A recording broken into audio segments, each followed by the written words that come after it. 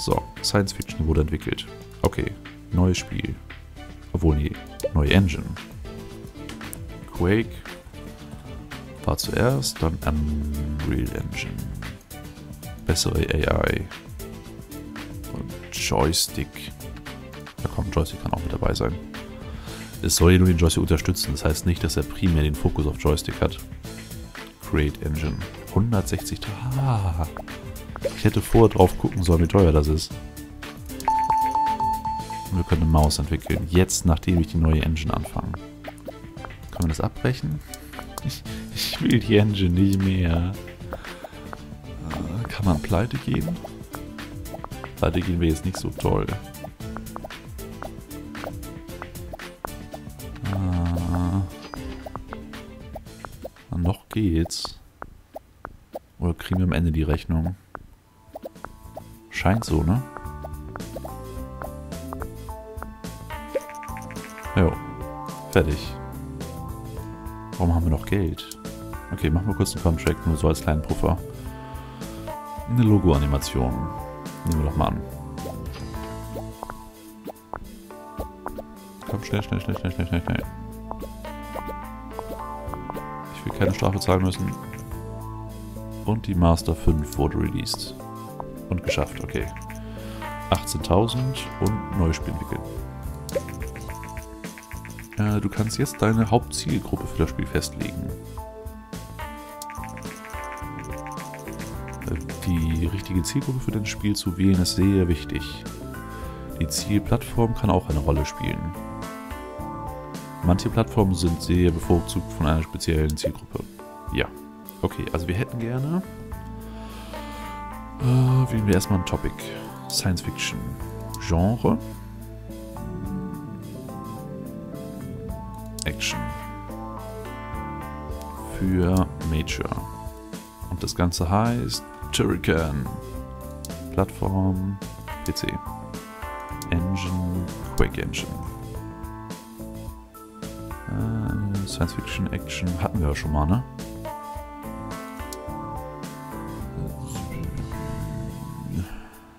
Es ist Science Fiction Action gewesen. Oh nö, hilft nix. Nix. Wir haben... Warum kann er nicht? Warum? Achso, Genre. Action. So. 2D-Grafik ist richtig. 35.000 sind schon mal weg und sofort ein Bug. Ah ja, komisch. Also Story Quest können runter. Der Rest bleibt so.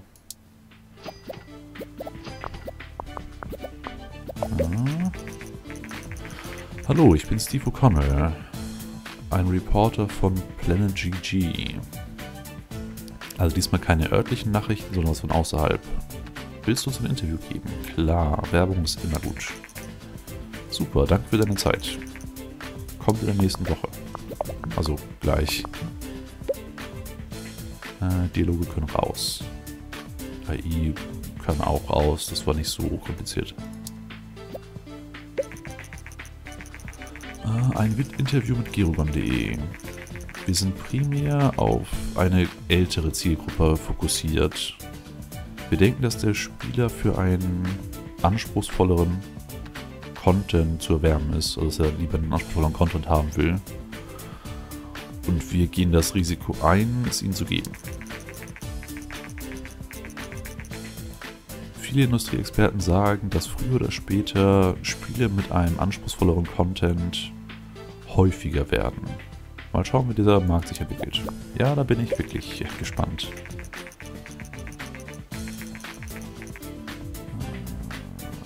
Okay. Also die Master 5 Konsole scheint wohl ein ähnlicher Boom zu sein wie die TES. Außer halt in Nordamerika. Okay. Wir haben nur vier Hype. Ich hätte gern mehr.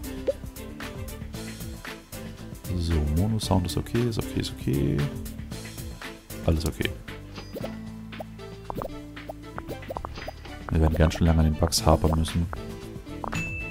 So, jetzt warte ich, bis die Bugs weg sind. Und danach werde ich es nicht releasen. Also nicht Finish drücken.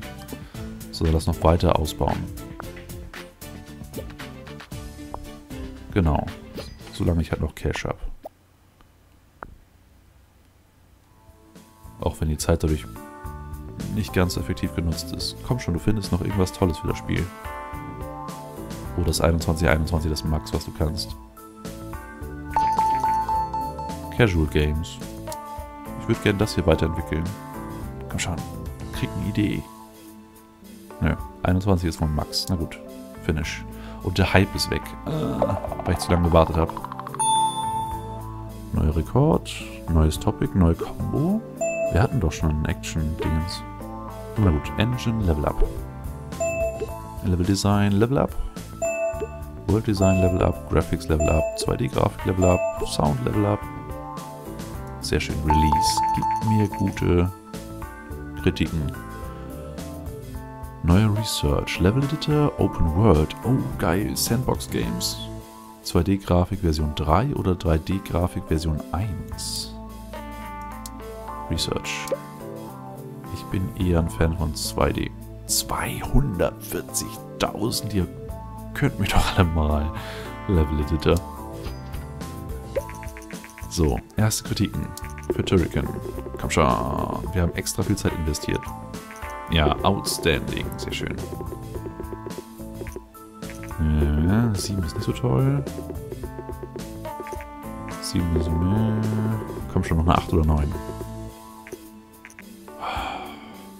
Na gut. Ich brauche gerade ein bisschen mehr Geld. Aha. Marktforschung zeigt, dass die G64 langsam Marktanteile an den PC verliert. Also es ist doch so wie im richtigen Leben. Das heißt eigentlich, da es ja wohl doch kein Copyright und so weiter gibt, also normalerweise macht man ja sehr viel Geld um Copyright. Das heißt, du entwickelst ein Spiel, machst kurzfristig Geld damit und dann machst du langfristig Geld mit dem Copyright. So wie ich das verstanden habe. Das gibt es hier leider nicht. Das heißt, wir hätten eigentlich Spiele entwickeln müssen zu der Konsole, die gerade zu dem Zeitpunkt am aktivsten ist. Aber na gut, man lernt immer was dazu. Äh, so.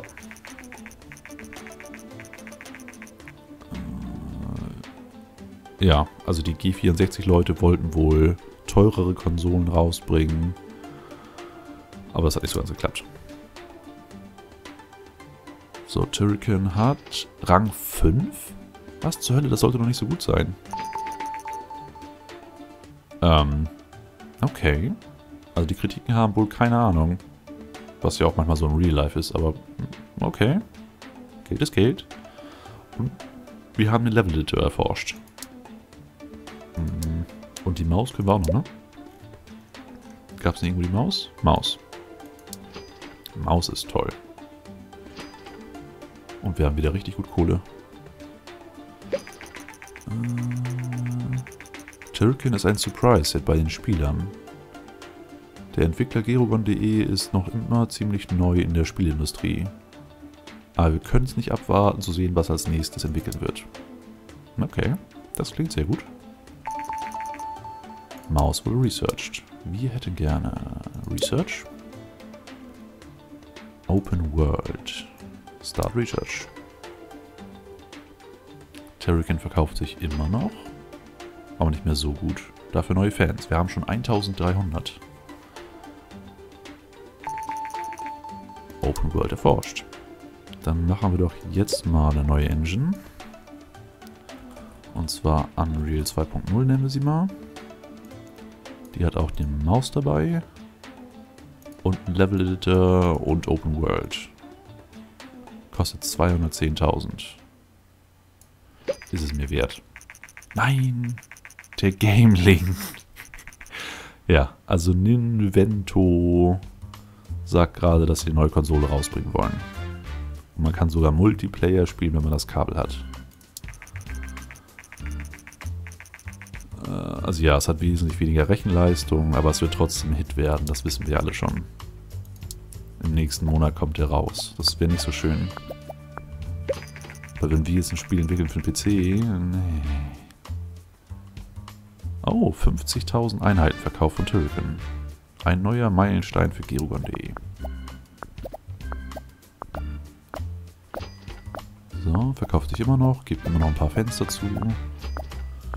Verballern jede Menge Kohle für die neue Engine. Aber das passt soweit.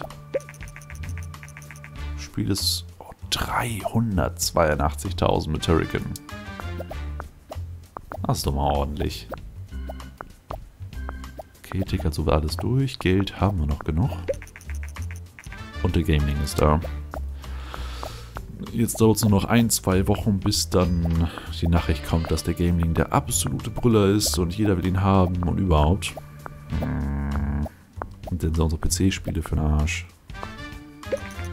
So, Engine ist fertig. Wir hätten gerne neues Spiel. Wollen wir jetzt auf den Game Link gehen? Hm. Nö. Ich... Was? Nein, ich will keine Lizenz. Ach, man muss eine Lizenz dafür kaufen. Okay. Nö, ich bleib bei meinem PC. Game Engine, Unreal 2. Topic, was haben wir denn noch nicht? Äh,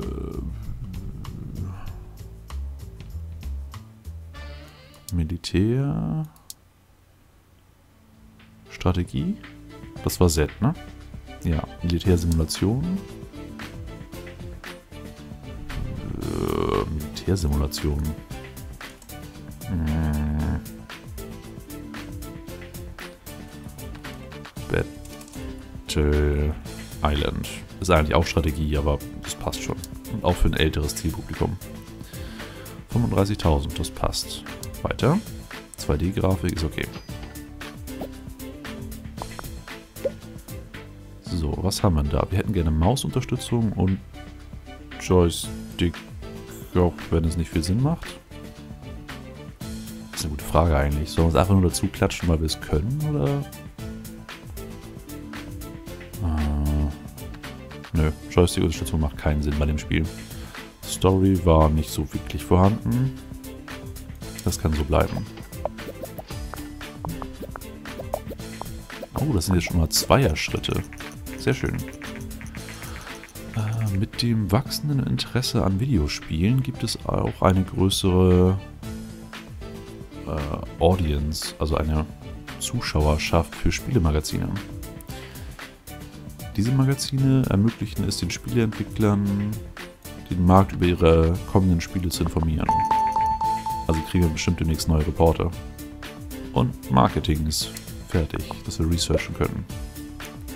So, wir hätten gerne bessere AI, wir hätten gerne Level Editor. Und wir hätten gerne so. Also im Geld ist echt so eine Sache. 51.000 nur noch. Hör auf, dich am Kopf zu kratzen. So, wir hätten gerne Open World, auch wenn es das Spiel nicht hatte. Na, ich habe jetzt schon öfters Sachen genommen, die nicht wirklich zum Spiel passten. Hm, du hattest kein Open World. So. Außerdem haben wir eh nicht mehr ganz so viel Geld. Und wir sind jetzt schon über 21. Bugs weg. Kannst du jetzt noch steigern? Steiger mal. Hm, okay, es geht doch nicht so, wie ich dachte. Äh, sobald du eine Million oder mehr in Cash hast, kannst du zum nächsten Level aufsteigen. Dies mag wie eine Menge klingen, aber keine Sorge. Sobald du einen Superhit landest, kriegst du diesen Wert schnell. Was? Ich habe gerade einen Bug wieder hinzugefügt. Ah, komisch. Neuer Rekord, neuer Rekord. Level up in Story und Quest. Sonst nirgends. Sound, ja, Release Game. Einfache Cutscenes. Oh, das ist schick. Und Kritiken. Gib mir was Gutes. 9, sehr schön. Und, und, und 10. Truly great. Ja, das wird eine gute Möglichkeit, wieder Geld reinzubringen. Und nochmal 9. Ja, sehr geil. Ähm, Forschung.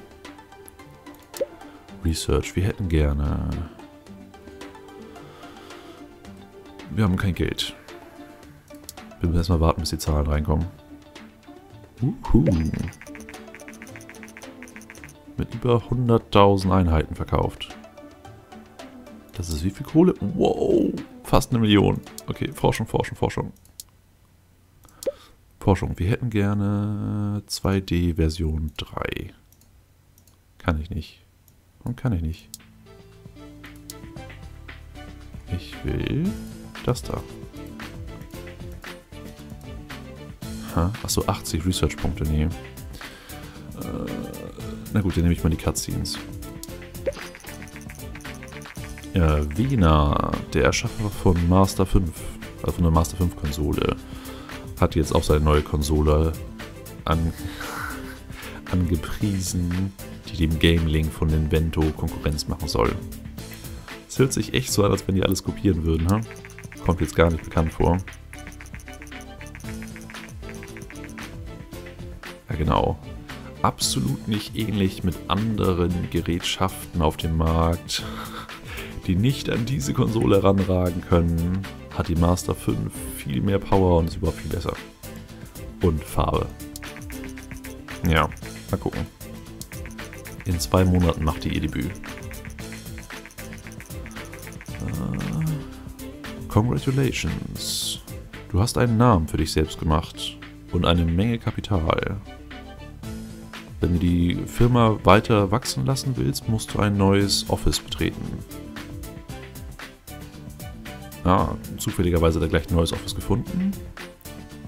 In einem Technologiepark. Willst du umziehen? 150.000. Ja, klar. Wow. Wow. Okay. Das ist krass. Mars Space Commander. Okay. Willkommen in deinem neuen Büro. Jetzt, da du ein größeres Büro hast, kannst du auch noch Angestellte einstellen. Ah. Du kannst außerdem dich selbst und deine Angestellten trainieren. Versuche das aus, indem du einen Management-Kurs betrittst. Okay. Ja, klicke auf deinen Charakter und Trainingsmenü. Also erstmal ist er gerade noch immer forschen.